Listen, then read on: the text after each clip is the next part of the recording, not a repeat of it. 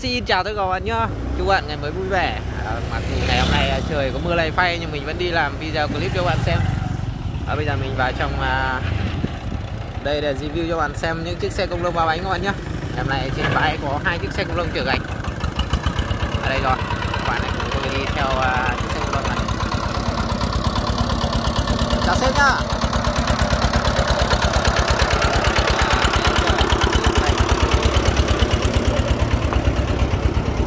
Đến công trình đổ ven ở trong thôn xóm các bạn nhé à, các bạn có thể thấy à, trời mưa này là đường rất trơn.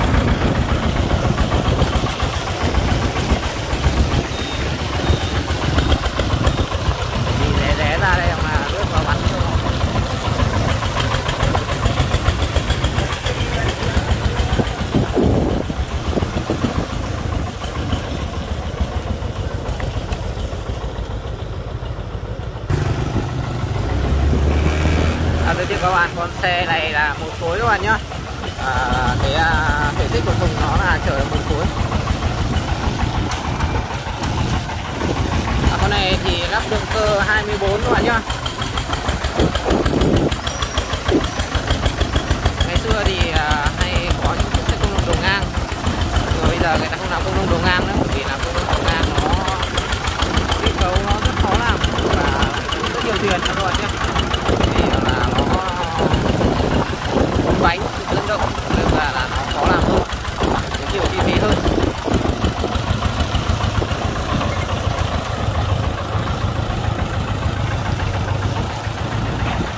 Thường thì những chiếc xe ba bánh thì vào cua dễ hơn và luồn nổi các ngõ dễ hơn vì cái đầu nó nhỏ các bạn nhé giờ người ta không làm cái công đồng ngang nữa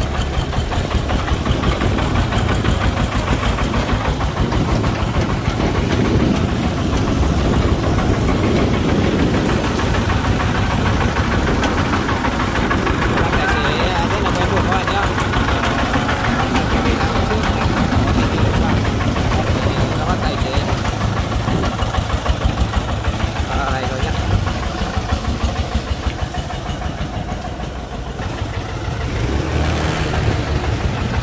à, còn một lát nữa rồi thì à, sẽ đến công trình để đổ ben rồi các bạn nhé trong này có một ngôi nhà à, đang xây ở ờ, cái trước thì cái ngôi nhà này nó chỉ ở cái góc nhà ra đường à, rất chi là tắc nghẽn giao thông.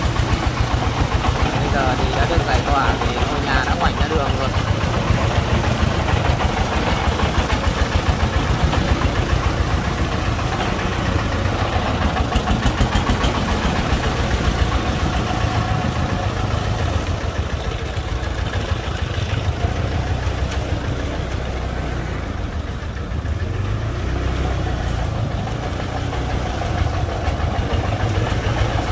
Mày đồ đổ ở đây các bạn nhé và lại đi vào trong ngõ này.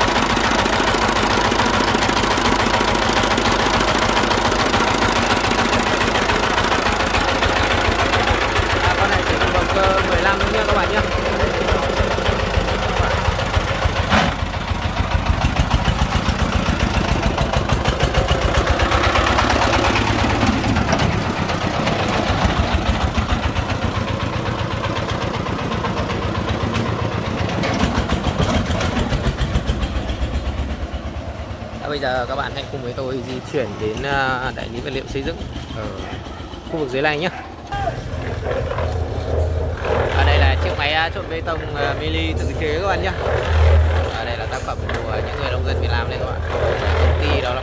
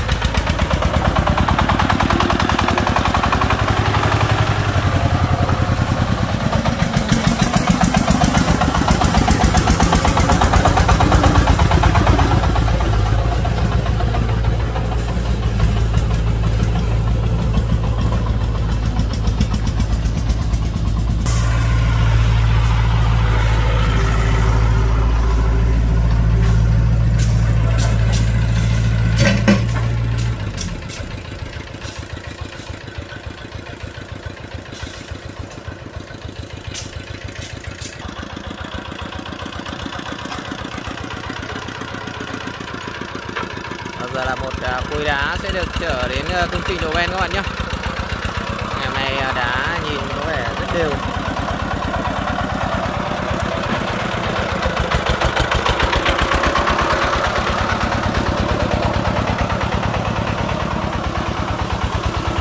Các bạn. Ngày nào cũng